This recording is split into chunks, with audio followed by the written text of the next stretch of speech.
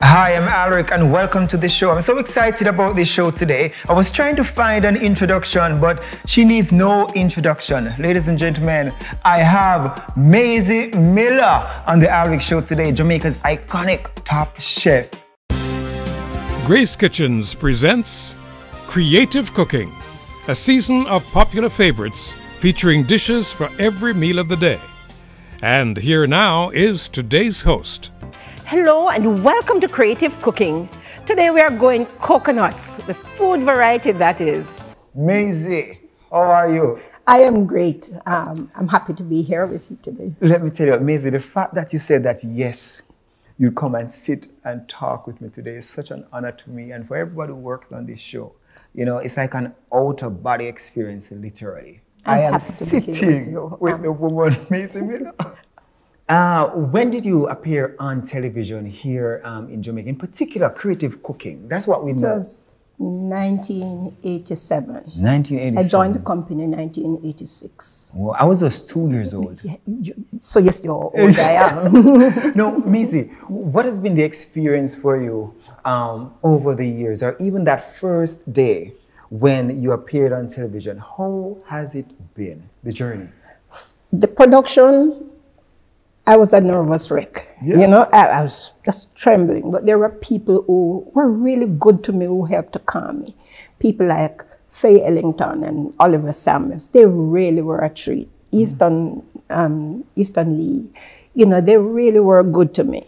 As it relates to the response, you know, um, people would say to you, you know, that's how my grandmother made the dish. You know, thanks for that recipe. Can make sure you send two copies. You know, that kind of thing. So it sort of gave me some, uh, you know, amount of confidence. Confidence, of yeah. confidence. But really, uh, I remember, and people who who, who watched the, that program, the program that ba- um, far, Mm-hmm. would re- would recall. you know. No, but let me tell you though, it's like you represented everybody's mother in the kitchen, everybody's grandma in the kitchen, literally. And great grandmother. I'm Listen, listen, yeah. Is, is that the kind of reaction you, you, you you get when, when you're out in the public and up to mm. this day? Yes, that's that's true, and I'm I'm thankful to God. You know, when you see the number of requests that come in for the recipes, you know, what we would do, each of us, because it was a team, we would walk with a batch of recipes and have someone that just in case you meet people on the way, you know, um,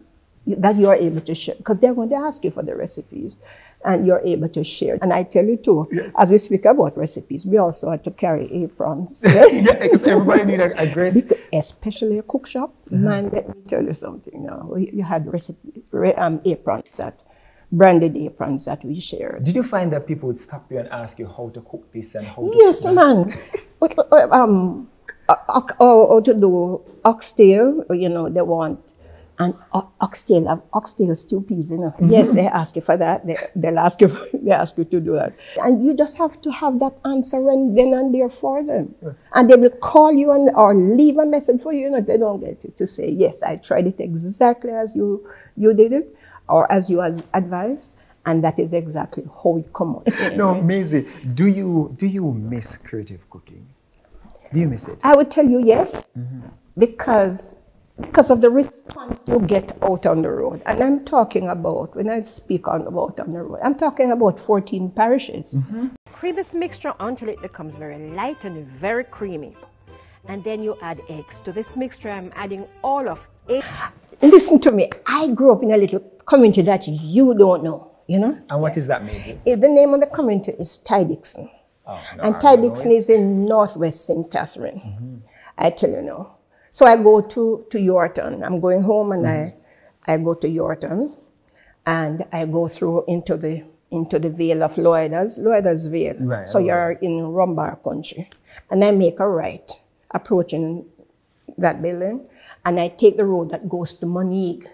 So I'm really on the other side of Mount Rosser. So when Mount Rosser used to be blocked, you know, you remember those days, the truck block road? And so those big trucks would have to veer, travel through my little community. Very, very narrow road, but the surface was good, you know? Um, and people say, boy, what a treacherous road, or, you know, that kind of thing. Um, but that's where I'm from. I went to Ty Dixon. I, went, I started at Camperdown all age school and then I spent about three months there. In the January, I went, I moved to Ty Dixon Primary School. What was life like um, down in Ty, Ty Dixon Listen with your to me, man. grandparents? Ty Dixon was, it was peaceful. R- People were loving to you. It was a community where, a place where the community raised children. Everybody look out. So if I passed you all 10 times for the day, I would say, good morning, sir. you understand me? Doesn't happen anymore.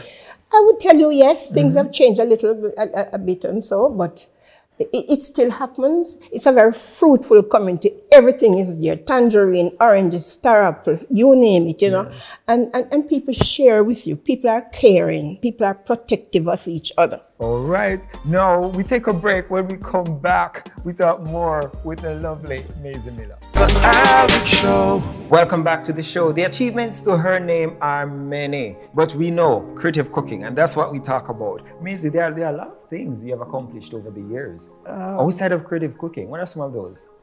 Well, I, I share with you my first job. Mm-hmm. I, I worked with the Agricultural Marketing Corporation, that's AMC on Spanish don't know, yes. I worked there as a field officer. Mm-hmm. And then I taught in the formal system for, for two years. You're I- a teacher too? Yes, I taught at Yeah. Kemps Hill um, High School for a year and uh, primary school for one year. That was prior to going to college. And then where else did I? I worked with Jamaica 4-H clubs for all of eight years. And What you did there? I taught home economics and agricultural skills. Yeah, So we did the practical theory and we did the practical. And you know, we shared with students who were coming out of the high, out of the secondary or high school system, who at the time were not ready to move on to college. You know, so we shared the skills with them. And oh, during that time, oh, I was uh, I became a, fa- a, a farm queen. Yes. Farm queen, yes. yes, I was I was I was the Clarendon farm queen. Yeah. And I was first runner up in the national competition. But interestingly, in my time at 4-H clubs, I was selected to represent Jamaica 4-H clubs on a professional rural youth exchange program abroad. And one of the the, the, the privileges I had was spending a whole week at Betty Crocker Kitchens, at their test kitchens. That was an awesome experience, you know, awesome experience. What was your experience at, at, at Grace at, at Grace um, Kitchens like? It was family, you know, it was a team. And everybody looked out for everybody. It was a case where I help you, you help me on the job. I'm testing a recipe, and I say I need constructive criticism, and and people gave you that. You know, it was teamwork, and believe you me, it was a wonderful work experience. How old are you now, Mazie? I mean, I tell you, one of the things about age, you know, is that you see, if you die tomorrow morning, it's one of the first things that come on the program. You know, date of birth and when you pass. I am all of 67. Wow. You Do- know. Do you know that you look just the way you are now when you appeared on on, on Creative Really? Cooking? Thank you Well, much. th- that's Yes. what I can I, I can I can I can recall. Thank you, but rest assured, the 5th Rest- of January 1954, you know? What do you what do you do to stay so youthful and so energetic? And you're always smiling, Mazie. Oh, thank you. The intentions are clean and pure. you know, but That's I eat, he- you know, I eat healthily. Mm-hmm. I, I try. I not claiming to be any perfectionist, you know, mm-hmm. but I, I try to have a balanced meal.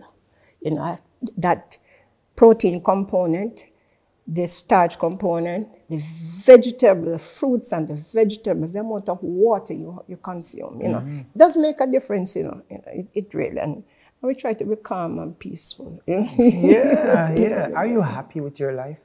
Very happy. I wouldn't, I wouldn't exchange it for anything else. There have been, you know, many obstacles along the way, but we will test of, it's test of faith, you know, they come along the way, and all you just have to be, don't worry yourself, don't get excited, just be calm. What has been that biggest struggle in your life or your hurdle in all your years that you had to face it head on? Probably smiling as you're always Yeah. smiling. And you had you had to overcome that. What is that one struggle? Um, Can there's I- any. Can I tell you? I, I suppose, like for everybody else, there might be many, but one that has that stood out for me was not knowing my mother. I I met my mother for the first time one day before I did my final exam at, at the Jamaica School of Agriculture. How old were you? I was, do the math, I was 22. I was 22. That is 1976, December, somewhere there, right? And don't get me wrong, I was growing up with my father's family. They took me when I was three weeks old. I couldn't want to have, I couldn't ask for better upbringing. My grandparents were a treat, they were a gem. Committed Christian people who walked with God, you know? They were kind, kind to me, but they were kind to the community. They set example. I'm, I'm going to talk to you about your grandparents in the next segment, but I wanted to, to just get back on meeting your mother for Yes. the first time, Yeah. right? What stood out for you on that today, and what was that moment like for you when you you were able to look into her eyes for the first time? She was, I imagine that I'm, I'm standing here and I'm looking, say, at you, but she's coming in a van from behind. And somebody nearby said, Your mother in that van. I started to cry.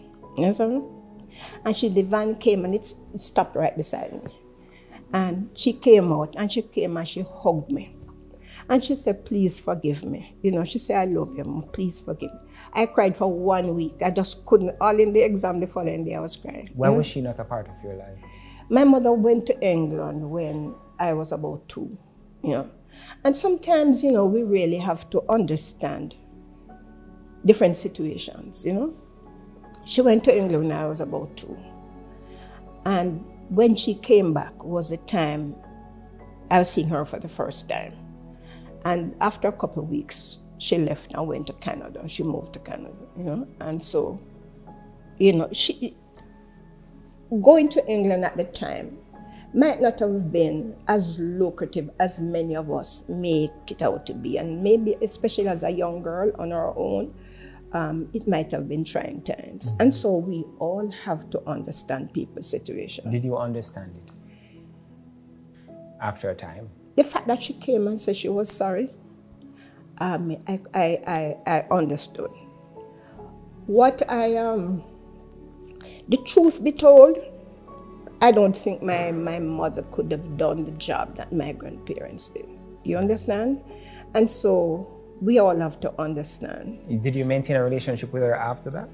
I maintained a relationship with her, and can I tell you, she passed recently, and and it was trying time for me, but family on both sides stood by me, you know, and I really I'm grateful to them. They it really was a little much my Canadian visa had expired. And as from the moment I realized she wasn't well, I wanted to go to visit her. And sadly, I got the visa on the, a week after she was buried, you know. And so I, and, and um, tears are a language only God understands, you know. Um, I was really shaken, really shaken. But the truth be told, my family stood by me. Yes, my fam- my entire family, cousins, my brothers and sisters, my father, you know, um, my children, my friends, my friends stood by me. The Grace team, you know, yes, man, they call if there's anything that we can do, you know, that sort of thing, and you realize that what friendship mean, who are really your friends, you know. But it was, but with time, I am the process is healing, uh, is, uh, and I'm hoping in the not distant future I'll be able to go and see where she was laid. You know. Thank you very much, Yeah. Mazie.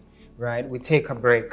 When we come back, we continue our conversation with the beautiful, beautiful Mazie Miller. The Alrick Show. All right, let's learn a lot more about Mazie Miller, apart from the fact that she is the chef, the mother, the grandmother of cooking here in Jamaica and across the world, literally. Now, Mazie, let me get into your life a bit. Are you a mother? Say it again. Are you a mother? Yes, man. All of three, I mean, three, I would tell you, adorable children. Yeah? You know, and, and um, I would want to tell you five. I have three children, one son and two daughters, but they have two other sisters, and they, they really are a team. They're a, you know, it's a bunch. And I can't, I couldn't go between that five. They really are so close, and I'm just so thankful to God. And were you ever married? Yes, married, and I'm separated. Mm. Mhm, Yes, How long was your marriage for? All of I never do maths. so- Basically, Didn't don't know. forget. Well, uh, maybe no for about sixteen years or 16 so. years. About sixteen years or so. Yes, you know, and and you know like. Like I suppose like all marriages, it had its strengths and its weaknesses, Right. you know. And um, I suppose if, you, if there comes a time when you really can't get along as you should have, I think you really need to separate in peace, you know. And and and I believe that we maintain a healthy working relationship. Yes. And, and that's beautiful. Mm. How about your children? Tell me about your children. Okay, there are, like I said, three. My mm-hmm. handsome son mm-hmm. um, is Paul, he's 32.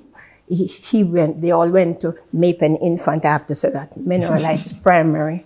They, he went to Denbigh and Vere Technical High Schools, Ebony Park and Runaway Bay Heart and UTech. That's Paul. He, he, his special area was in the culinary arts. So Paul is trained as, as, as a chef. Um, Vivian, uh, and Samantha. They both went to May Pen Infant, Mineral Heights Primary, Glenmuir High School. Um, Vivian went to the University of the West Indies and, and Samantha to UTech. Viv, uh, they both are educators. Viv uh, did science education and Samantha IT and education. Oh, and it's remarkable that they basically follow in your footsteps, literally, because you're in the education part, and then you have um, your son who's also a chef. What are you most proud of, Mazie? I am, you know, I'm proud of, uh, you know, as it relates to the children. I tell you, the examples that were passed on to me by my own parents, my own grandparents, and so, the, you know, those values of integrity, of honesty and trust, has been passed on to them from both parents. You understand?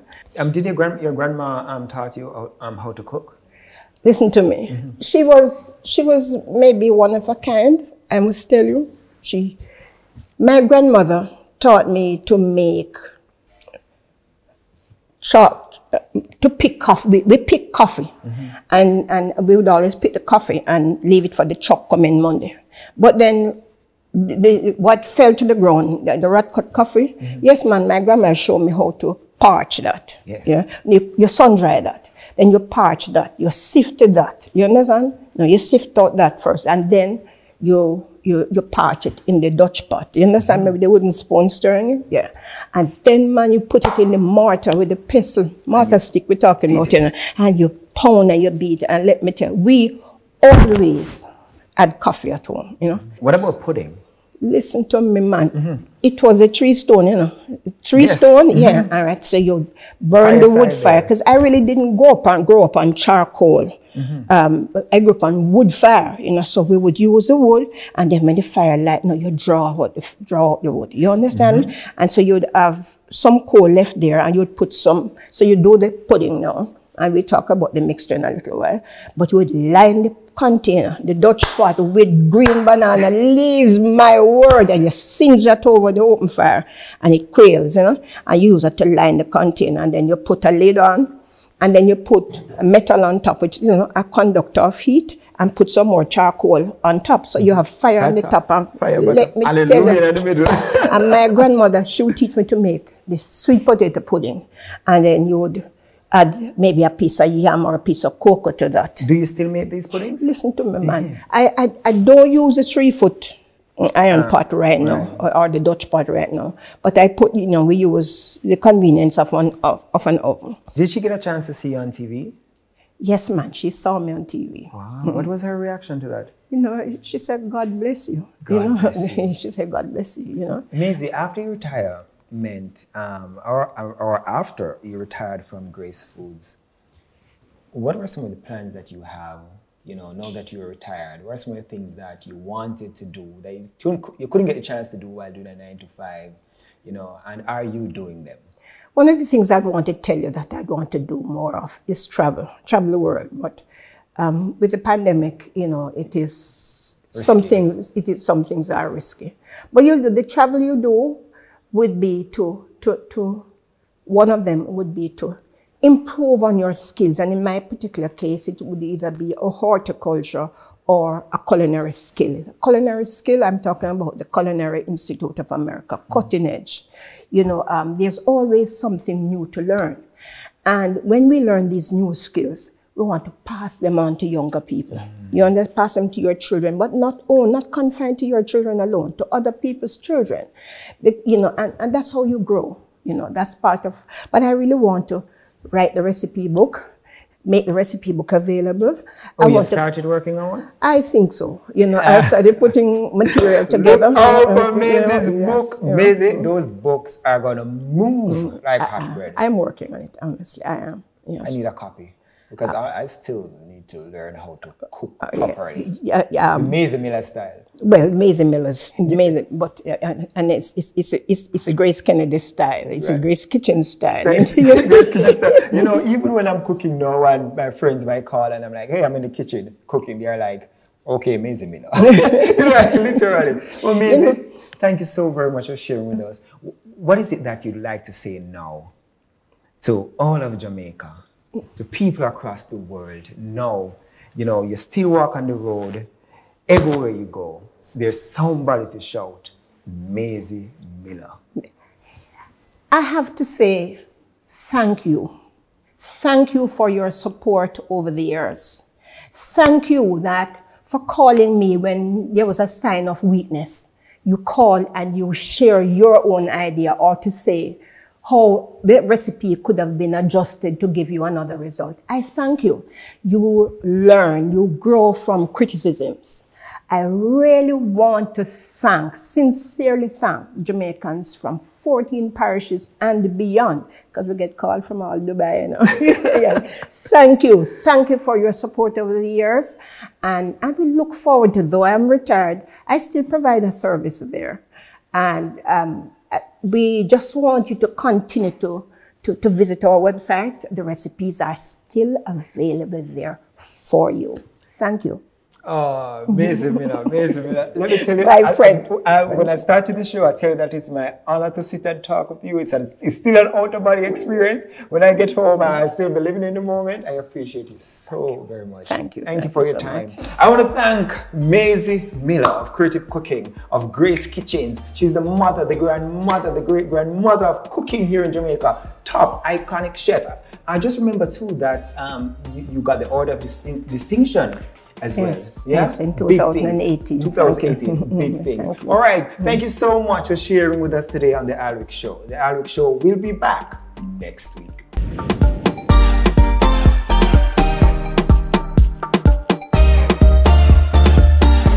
The Alrick Show.